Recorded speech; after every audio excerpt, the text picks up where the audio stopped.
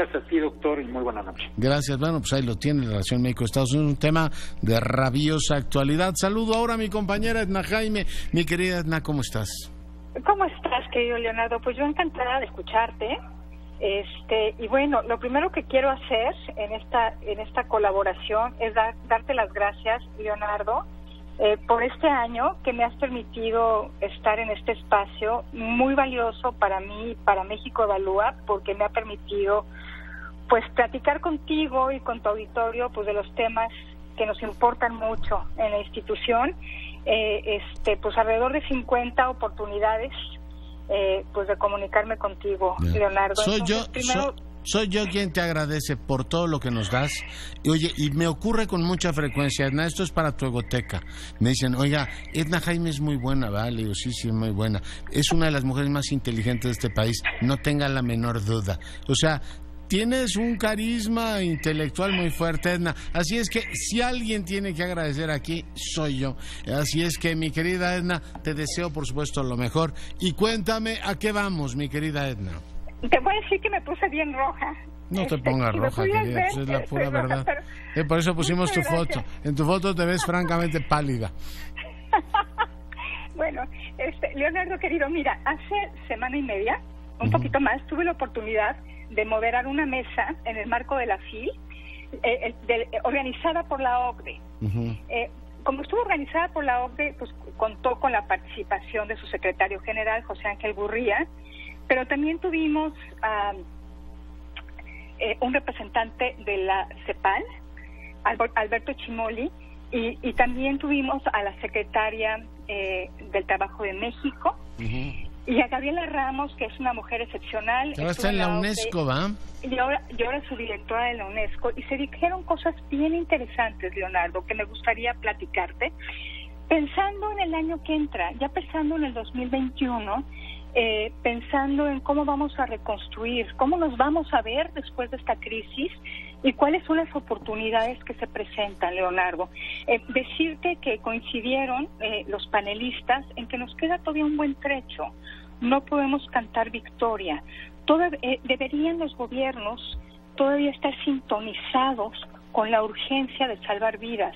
Ese fue un mensaje bien importante. Lo planteó José Ángel Gurría cuando decía que hay un falso dilema. No hay, no hay tal cuando hablamos de salvar vidas o mantener la actividad económica. Él dice, no hay eh, planteamiento o exigencia más clara que el de salvar vidas. No hay dilema. Y todas las acciones de los gobiernos Leonardo deben estar enfocadas en ese objetivo. Entonces, pues sí, le preocupa y dice que desde la OCDE se han hecho señalamientos al gobierno mexicano de cómo puede reforzar algunas medidas justamente para proteger vidas. Y aunque ya tengamos la vacuna, este va a ser un proceso lento y todo 2021 va a estar eh, pues involucrado en este proceso de eh, de vacunación, así que todavía hay un largo trecho que recorrer en una situación muy problemática y las acciones de los gobiernos van a ser clave para poder enfrentar estas crisis y mitigar sus peores impactos.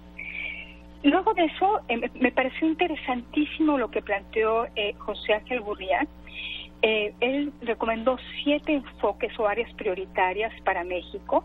La primera es la política macroeconómica y financiera. Tenemos que hacer un esfuerzo por aumentar la recaudación. Representa 16% del PIB en México, frente a un promedio de la OCDE de 34%, más del doble. Eh, pero pues hay que recaudar más, pero con propósitos claros. Él decía, hay que promover, la política fiscal debe promover el emprendimiento, esto es lo que nos va a sacar adelante. Y la política fiscal debe apoyar programas de gasto eh, eh, que fomenten la protección social y la inclusión. Este es un tema toral, Leonardo, uno de los temas torales, la inclusión. ¿Cómo repensamos el modelo económico después de esta crisis para ya no dejar a nadie afuera? Eh, el segundo tema, fortalecer el sistema de salud es increíble, Leonardo. Tú sabes que nosotros hacemos seguimiento eh, mensual de indicadores de gasto, de ingreso y de gasto, de finanzas públicas, y seguimos teniendo subejercicios en, en materia de salud.